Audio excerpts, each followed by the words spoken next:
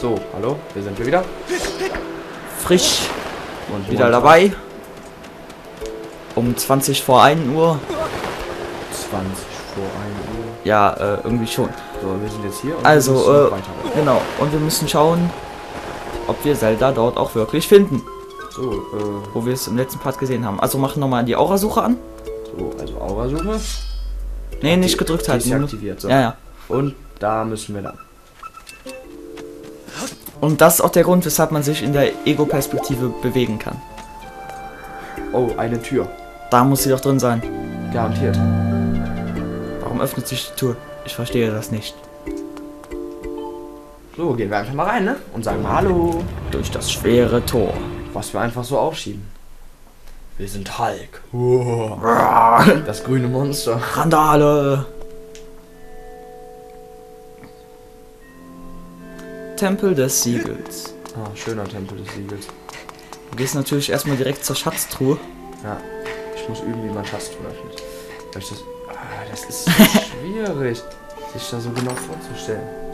Ja, sonst musst du mal mit Z Wow. anfangen. Wir haben einen Wunden. Was? Du hast den Wundertrank gehalten. Dieser mysteriöse Trank stellt deine Schildanzeige komplett wieder her und führt außerdem vier Herzen auf. Wundervoll. Und das war immer mein Lieblingstrank. Und ich glaube, es wird auch Dennis Lieblingstrank sein. Ja, der ist schön. Ja. Boah, ist Mach doch das Schwert kaputt, Junge.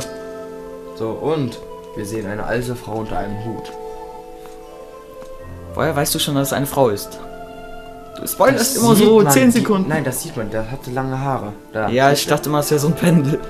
Sieh Nein, an, der Auserwählte, der das Wolkenmeer durchquert hat und vom Himmel gestiegen ist. Yo, hier bin ich. Was geht, Alter? Wie heißt du?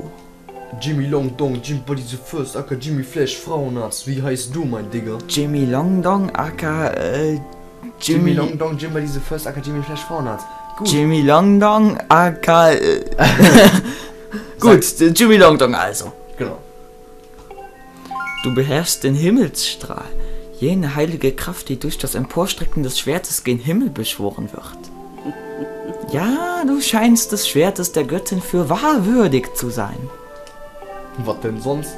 Ich sitze hier seit ewiger Zeit und habe auf dich gewartet, den Wegbereiter des Schicksals. So, und wir sehen einen Lichtstrahl. Licht. Das hier ist der uralte Tempel des Siegels, der von der Göttin selbst erschaffen wurde.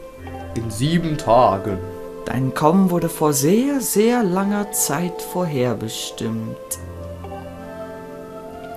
Das Mädchen, das du suchst, ist erst vor kurzem von Licht umhüllt in diesem Tempel erschienen.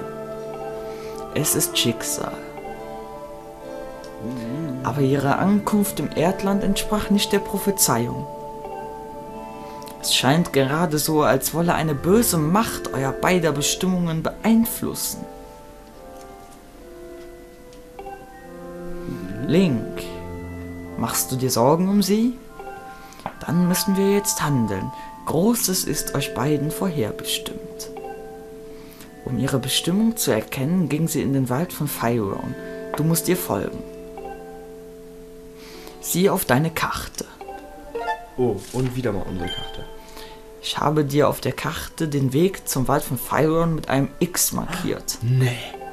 Aber es ist gefährlich, bei all den Monstern mit der Nase in der Karte umherzulaufen. Daher bringe ich dir bei, wie du Signallichter verwendest. Wenn du auf der Karte ein Signallicht setzt, erscheint dort eine Lichtsäule, an der du dich orientieren kannst. Also zeige auf X und drücke C, um ein Signallicht zu setzen. So, also, äh. Jetzt. Und das muss man genau treffen, sonst macht ihr wieder Mätzchen. Sehr schön. So, und jetzt gehen B. wir. B. Du kannst es von hier toll Ey, das ist mein Part, ja? Also, Du kannst es von hier aus zwar nicht sehen, aber das Siegel Signallicht leuchtet dir nun den Weg. Wenn du das Signallicht nicht mehr brauchst, zeige auf, die, auf der Karte darauf und drücke erneut C, um es zu entfernen. Jetzt musst du dich nicht mehr fürchten, äh, äh, deinen Weg zu verlieren. Geh nun in den Wald von Fyron und finde die heilige Maid. Finde Zelda. Nimm den Inhalt der Schatztruhe in diesem Raum an dich welche Dennis schon geplündert hat. Er wird dir auf deiner Reise nützlich sein. So, Wow, da hat sich ja jetzt viel getan. Der Weg durch diese Tür führt dich direkt zum Wald. Sei vorsichtig. ja komm. Es wird mit Sicherheit bald alles klar werden. Schreite ohne Furcht voran, Link. So, also dann hauen wir jetzt mal auf die Kacke. Ich hoffe mal, dass ich richtig laufe. Ja, du läufst ziemlich richtig. 100% richtig. 100% Baumwolle. Genau, frisch aus. Super Anbau. Jetzt neu. Und jetzt kommt garantiert unser Schwertgeist wieder. Glaube ich. Ich weiß es gar nicht. Dass die uns irgendwas Aber das sagen. würde Sinn machen. Oh Gott. Nee, er kommt zum Glück nicht. Yippie. Oh. Ein Flohmarkt. Yeah. fiesen Biester, lasst mich in Ruhe.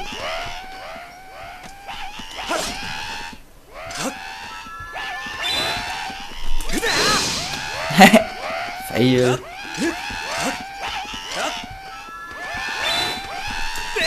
So, und jetzt musst du... Naja, egal. Ähm, du verdreschst die hier ja schon irgendwie. Sehr schön. Gut. Du musst schon den Angriff abwarten, weil sonst äh, kann es sein, dass du dann im falschen Moment dein Schild nach vorne gepresst hast und dass dann der Angriff halt auf den Schild geht. Oh. Danke für deine Hilfe. Wo kommen diese roten Kerle her? Früher haben sie sich in diesem Wald jedenfalls nicht herumgetrieben. Und so einen wie dich sehe ich heute schon zum zweiten Mal. Was ist das nur für ein Tag? Naja, als Dank für deine Hilfe erzähle ich dir etwas Interessantes.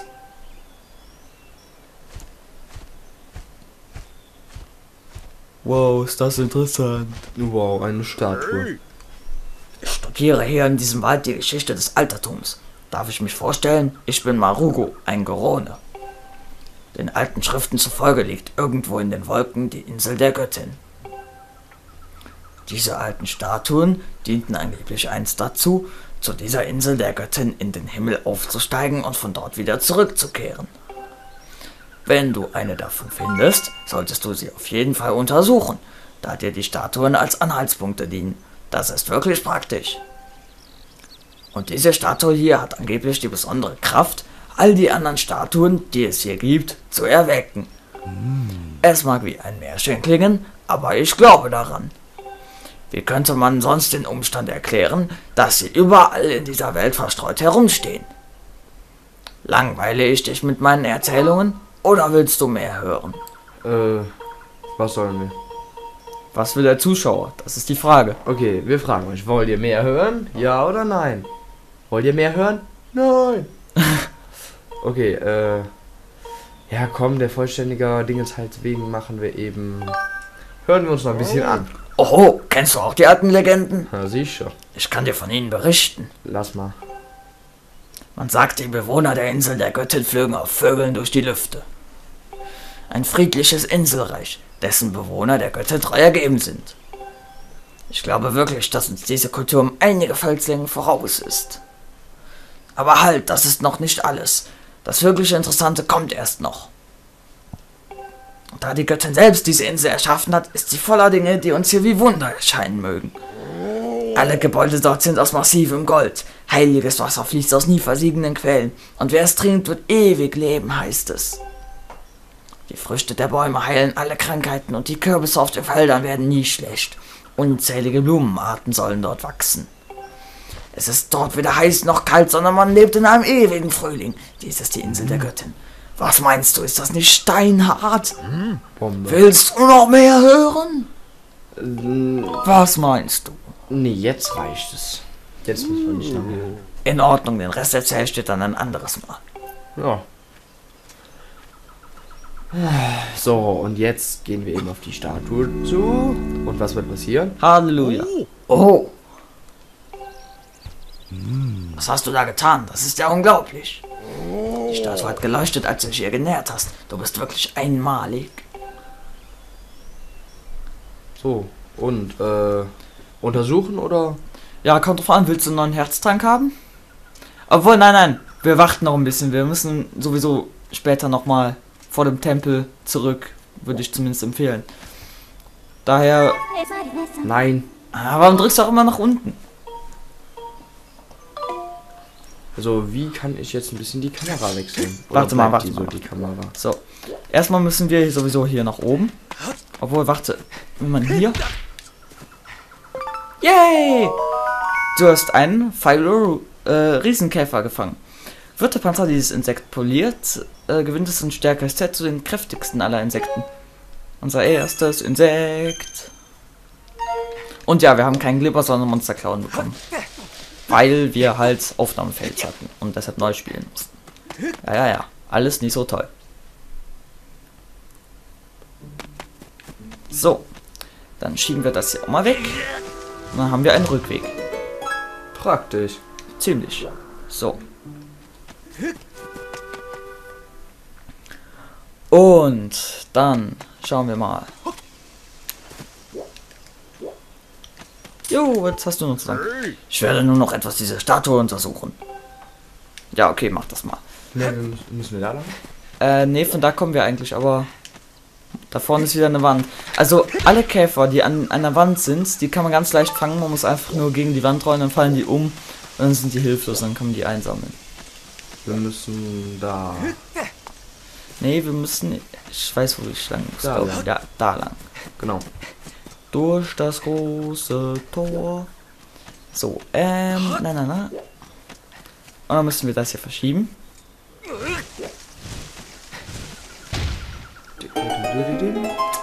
So, und wir haben es geschafft. So, wundervoll. Das war auch jetzt voll das Rätsel und so. Und wir können das Signallicht wieder wegmachen, weil da sind wir jetzt Okay, schon. das heißt, wir öffnen die Karte mit Plus. Genau, Plus und Minus und so und hör auf zu lenken und runter und Z und Und B. Genau. und jetzt laufen wir durch den Wald. Und wir laufen immer weiter. Immer, immer weiter. In diesem schönen kleinen Wald. Hm, Schon wieder. Gebieter, wir sind im Wald von Fyron angekommen.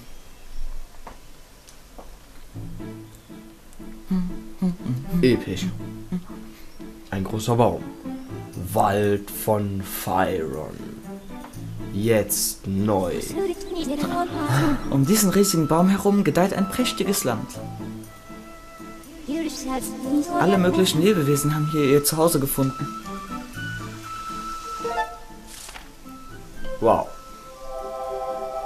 Und wir haben ein neues Gebiet erschlossen. Der Wald von Fyron. Da sind wir und Halleluja. wundervoll. Ich fühle, dass auch Zelda sich irgendwo hier aufhält. Ich schlage vor, sie mit der Aurasuche aufzuspüren. Dann werden wir das mal machen, ne? Also die Aurasuche, das ist quasi das Gespür aus äh, Twilight Princess. Nur finde ich das irgendwie cooler mit der Oh, nee, warte, Aurasuche. ich habe das hier jetzt einmal aktiviert. So, da müssen wir hin. So, da. Ja. Das heißt, Schild wegstecken. Du musst bei der Kamera auf jeden Fall mehr mit Z arbeiten. Finde ich. So, und das Schwingen ist ganz cool, weil da muss man die Wii-Fernbedienung immer richtig neigen. Und zwar äh, schwungvoll neigen. Nicht einfach so normal hoch und runter, sondern man muss da schon ein bisschen Schmackes drin haben. So. Und äh, roll mal. Sehr schön. Gut. Bäume des Todes die uns den Weg versperren. Aber auch die fielen Dennis zum Opfer. Äh.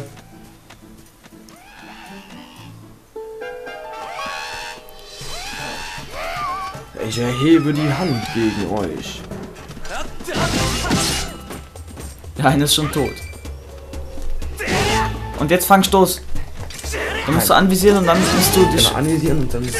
dann musst du dich konzentrieren auf jeden Fall. Nein. Und deine Ausdauer ist weg und deshalb bist du jetzt.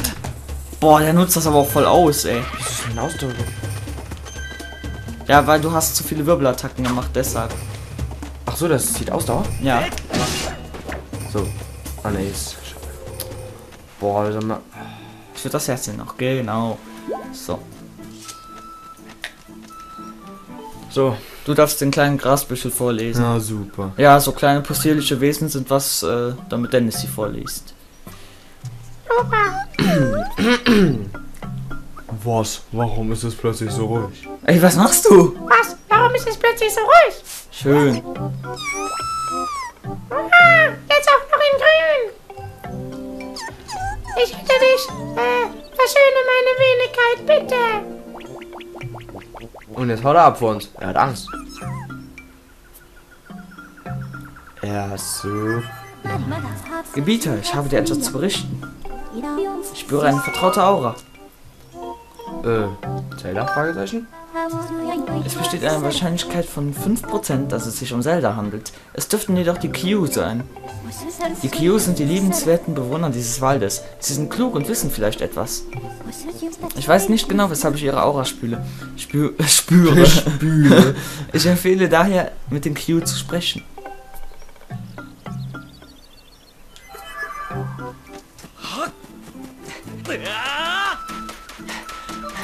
Das ist anstrengend. So, Und da ist ein Q. das ist der gleiche wie vorhin. Genau. Ich finde die voll süß, die Teile. Mit hinten diesem Knoblauch Rücken. Äh. So.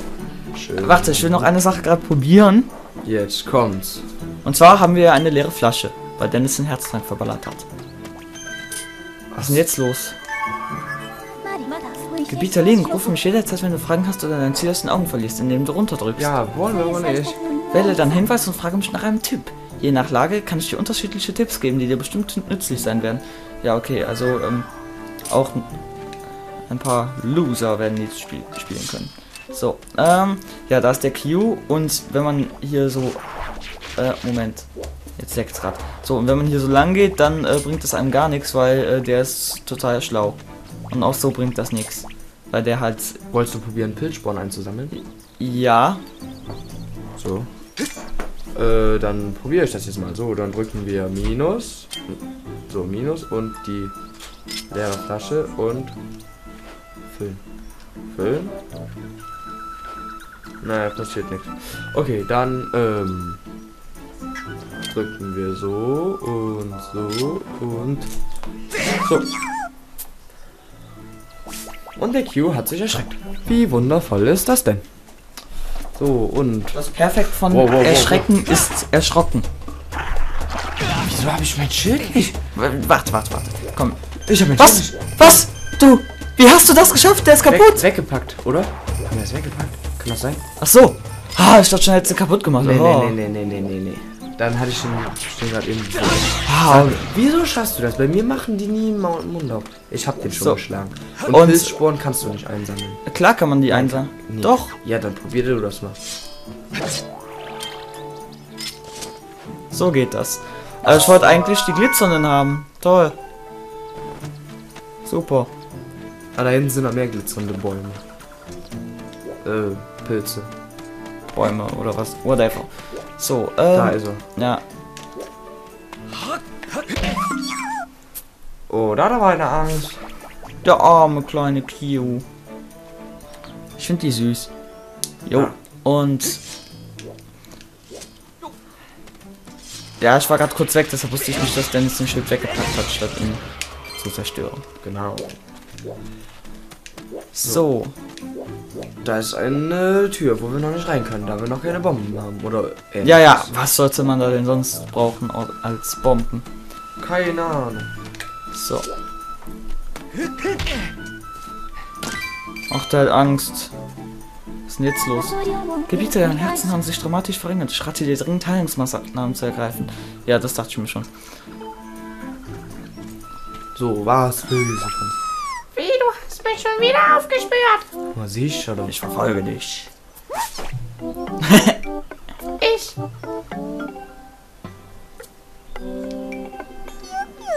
Wie? Du machst ja gar nichts. Und eigentlich äh, hast du es ja vorhin nur den roten Galen gezeigt.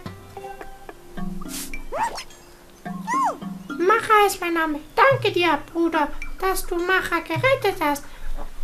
Das hätte Macha dir gar nicht zugetraut. Tja, siehst mal, ne? Da fällt Macher ein. Gerade erst vor kurzem war ja so eine ähnliche wie du. Äh, ja. Zelda? War das etwa eine Freundin von dir? Das war ganz schön übel. Sie wurde plötzlich von den roten Kernen angegriffen und ist dann mit ihrem Häuptling geflohen.